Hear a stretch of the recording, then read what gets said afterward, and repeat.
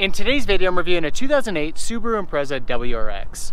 The WRX is a sport-focused variant of Subaru's popular Impreza model, and this 2008 is part of the third generation that was produced from 2007 to 2014.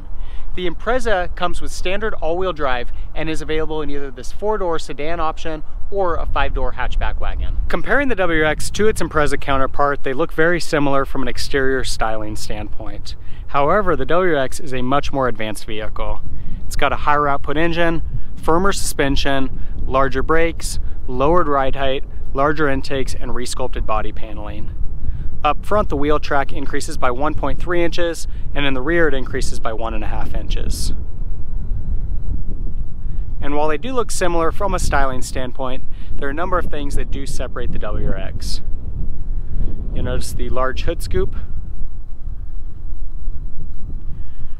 the webbed front grille, and then revised body paneling along the sides. Most noticeable is this body paneling along the bottom.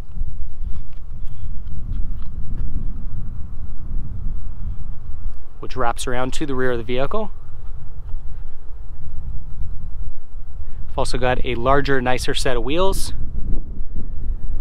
and a rear spoiler. Overall comes together as a very nice looking vehicle. Pretty conservative in terms of the overall styling with just a few subtle changes with a WRX designation. Makes it a great vehicle that you can use for all situations. Subaru also has a WRX STI model, which is a further enhanced performance version of the WRX.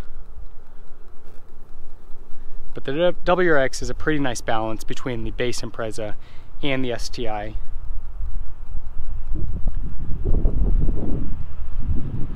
One interesting fact about this generation of the WRX is that it was produced from 2007 to 2014, but Subaru came out with an all-new Impreza in 2011.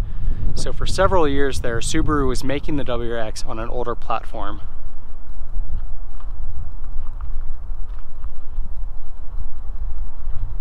Mentioned earlier that the WRX is available in either a sedan or wagon configuration. The wagon seems to be the more popular option with the WRX, but they're both nice in different ways.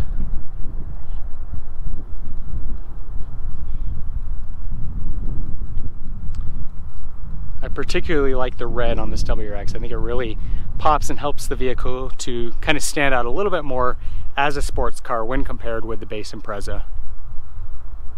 Jumping into the interior of the WRX, you'll see that it's very basic inside, looks very similar to the Impreza model.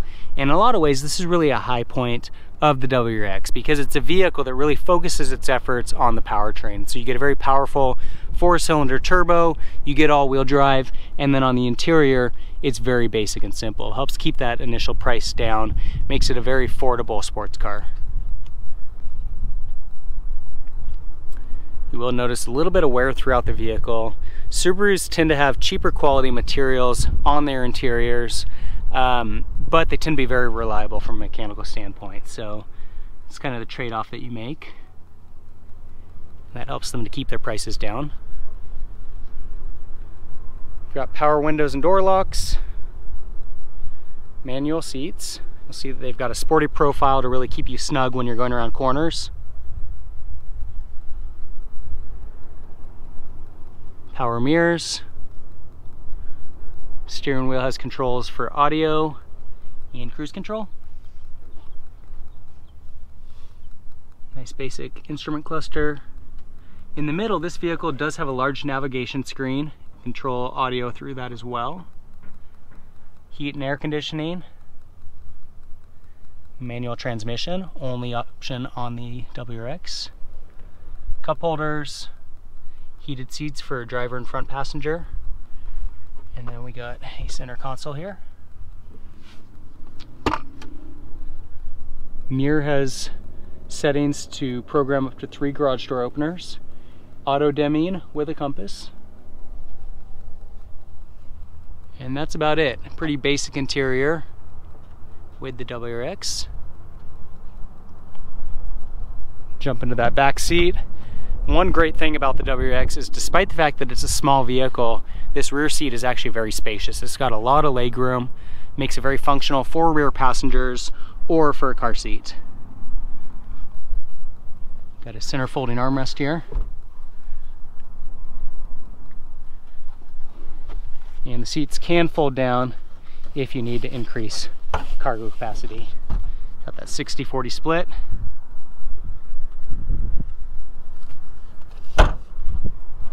Coming around to the back again, you'll see the WRX is very practical when it comes to cargo capacity. Nice large trunk here. So not only can you drive quick, but you can use the WRX for your everyday needs. The WRX has a four-cylinder boxer turbo with 265 horsepower and 244 pound-feet of torque.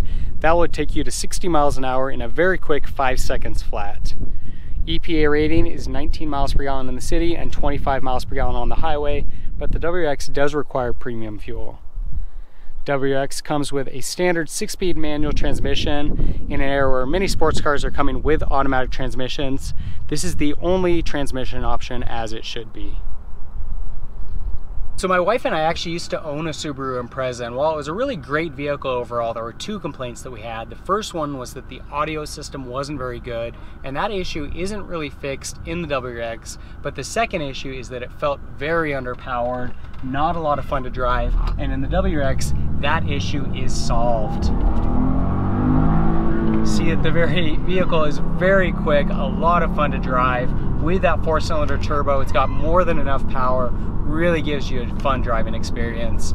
Um, to me, the biggest issue with the Impreza is the fact that it's no fun to drive, it feels very underpowered, and with the WRX, that issue is solved.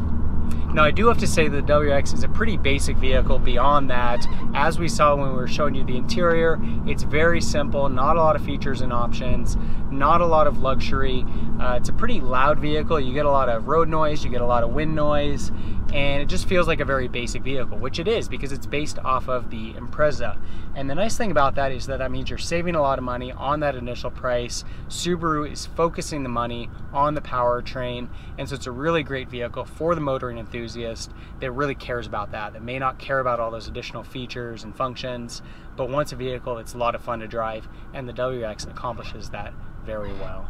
Now one of the things that makes Subarus really popular and kind of stand out within the marketplace is that with the exception of the BRZ, they come standard with Subaru's symmetrical all-wheel drive system, makes them a very popular vehicle in northern climates that see inclement weather. And the great thing with the WRX is that you're able to get a vehicle that's very sporty, very fun to drive, a great vehicle for summer weather, but also very capable in snow and ice and other inclement weather. Um, and it's a really great system uh, handles incredibly well. And um, in addition to being very capable in snow and ice conditions, it's also a really great system for driving um, on corners in dry pavement. Helps the vehicle to really hug the road. It's got incredible traction through the corners. Now we'll go ahead and give you a chance to hear the vehicle open up under a little pressure. Really hear that turbo kicking in. Ton of fun to drive more than enough speed. Really sounds great. So that's a review of the 2008 Subaru Impreza WRX. Overall, really fun, great car that fills a niche within the market. While it does have a very basic interior, not a lot of features and options, not especially comfortable, pretty bad audio system, it's still a really great car in a lot of ways. Really good option for somebody that wants a vehicle that does it all. It's very quick and fun to drive. It's very economical, great in inclement weather, and so it kind of does it all in that sense. And then it's also a really good option for somebody that wants a sports car and doesn't want to spend a lot of money. Uh, you get Subaru's reliability, comes in a very reasonable price, and it feels like a sports car. It's very quick, it's very agile, and a really great overall vehicle. If you have any comments or questions on the WRX, leave them in the section below. For more car reviews, subscribe to my channel. In the meantime, thanks for watching.